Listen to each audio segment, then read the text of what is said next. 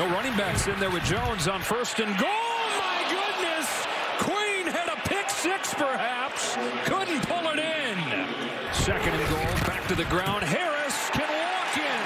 Stumbles over the goal line. Touchdown, Patriots.